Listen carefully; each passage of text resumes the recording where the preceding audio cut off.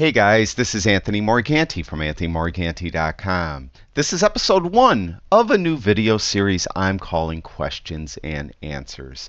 I get dozens of questions through email every day, and I thought it would be a good idea to create this video series where once a week I'll answer four or five of the more common questions I get, or questions that have answers that I think might benefit everyone.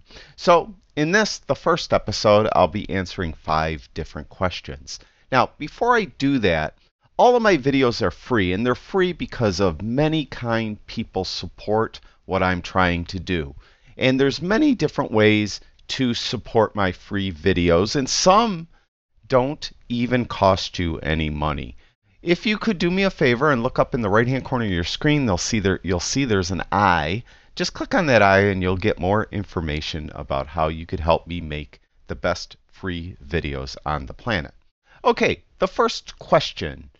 When I import images, I sort them into catalogs, and in doing so, I inadvertently kept creating virtual copies. Now I have a bunch of virtual copies in my Lightroom catalog.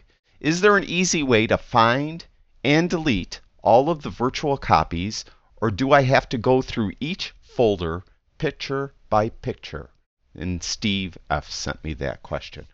Okay, what Steve is talking to, let's jump over to library module just for a minute. And you can see we have our collections. When you create a new collection, you have the option to make virtual copies. And it appears that Steve was always creating virtual copies when he was sorting his images into different collections. Now he has a bunch of these virtual copies along with the actual image itself. So he needs a way to easily find all these virtual copies and delete them. And it is very easy to do. You go to the library module and go up here where it says catalog and click on all photographs. And when you click on all photographs, you'll see that this will populate with all your images. Now what you want to do is you want to go to attribute right here and over here on the far right, you'll see that it says kind, and then it has looks like kind of a film uh, icon.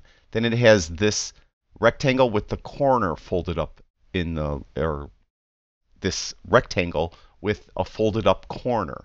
That's what you want to click on because that is virtual copies. And when you click on that, you will filter your Lightroom catalog. So all that it will display now are virtual copies. And you could see that each one of these has the corner folded up, which is Lightroom's way of indicating it's a virtual copy. Now, to delete these, you could just delete them one by one. Maybe you don't want to delete them all. You just want to delete certain ones. So you could just, you know, click on one and hit delete. And it's going to ask you, eh, I'm not going to delete mine, but you could remove it. Or you could click on the first one hold the shift key down and click on the last one and you'll select all of them. Then hit the delete key and then it's going to ask you if you're going to want to delete all of them.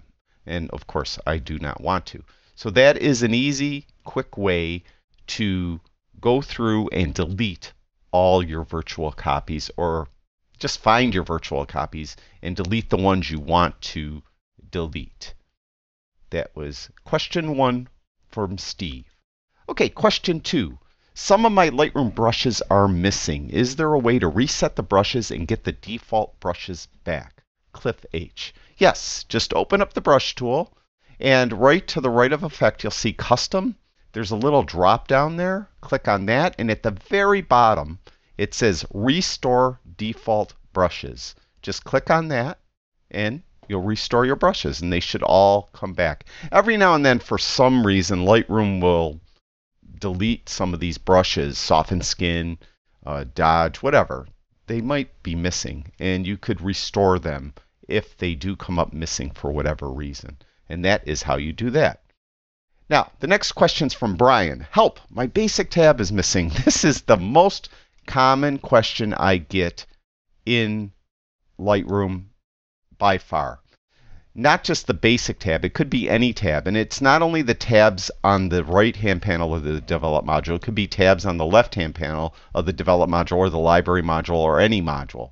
And all you need to do is right click on any of the tabs that are still there and you'll see this little menu pops up. And you can see how each of the tabs is indicated here, basic tone curve, and they all have check marks to the left of them. If I click on basic tab now, you can see it's disappeared. So what probably happened is Brian inadvertently unchecked that without realizing what happens. So now you see my basic tab is gone. So just right click and you can see that check mark is gone. Just click it again and it's there. So if you're missing any tab on any panel, anywhere in Lightroom, just right, try right clicking on any of the remaining tabs and find that check box that's missing and add it. And you should be good to go. All right, next question is from Kathy B. My basic tab looks different than yours. Mine has recovery and fill light in it. Why? Okay, if you look at my basic tab, you can see I have highlight shadows, whites, blacks, and this is the main part that Kathy is referring to right here. If you go down here in the camera calibration tab, you can see it says process and it says 2012 current. Lightroom has process that what they call, at least Adobe calls a process engine that it uses. That's all the algorithms and computer stuff that it uses to process your images. And over the years, Lightroom has revamped this process engine. And they include the older processes here. You can see there's 2003 and 2010. Uh, and the current one, of course, is 2012. If you accidentally change this to 2010, what you'll see is your basic panel will no longer have highlights, shadows, and whites. It'll have recovery and fill light in there, and it will be missing a tab. So you can see that it's different. And it has, as you can see, it says exposure, recovery, fill light, blacks. So if that happened to you, just go down to camera calibration, go to process, and make sure you're using the current process engine. It's currently 2012. And then you'll look and you could have your highlight shadows, whites, and blacks are back. So that happens quite often. All right, last question. How do you have that lens info on the top left of your screen? Luis B. Okay, Luis, as you can see, there's an image here. And all you got to do is hit the I key on your keyboard. And you could see that once you hit the I key, it's making a liar out of me. There it is. You hit the I key, you'll come up with some info. In this case, it's showing the uh, file name, the date it was taking, and the time, along with the file size. If I hit I again, then it comes up with some camera uh, exposure info and the lens info.